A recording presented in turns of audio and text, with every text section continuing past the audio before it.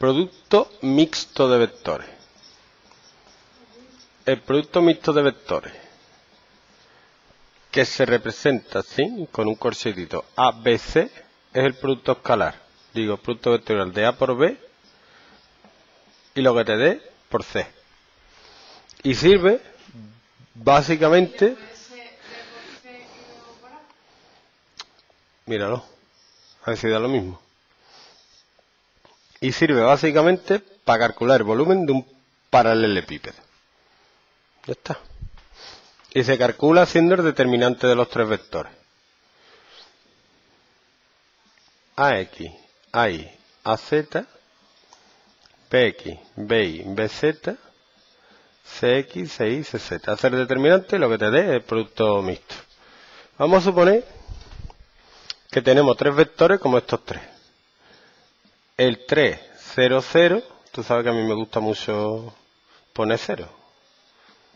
0, 4, 0 y 0, 2, 0. Pues tú te fijas que si haces el determinante de estos tres, uy, 0, 2, 0 no, 0, 0, 2. Te queda 24, 0, 0, 0, 0, 0. 24, que si te fijas es el producto de las tres componentes de los tres vectores. 3, 4 y 2. Y de aquí es de donde sale la fórmula del volumen del paralelepípedo, que es lo que le tienen que enseñar a los niños en primaria. Y es la ESO.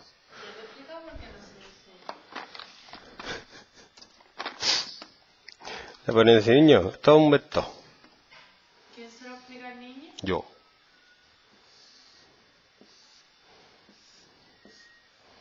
Pues es que vamos, si vamos pensando que los niños no se van a enterar, así nos va.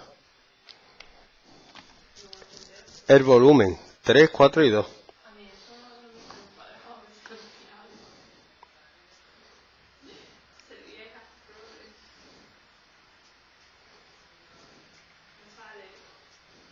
Venga, a ver si hay algo de selectividad de esto.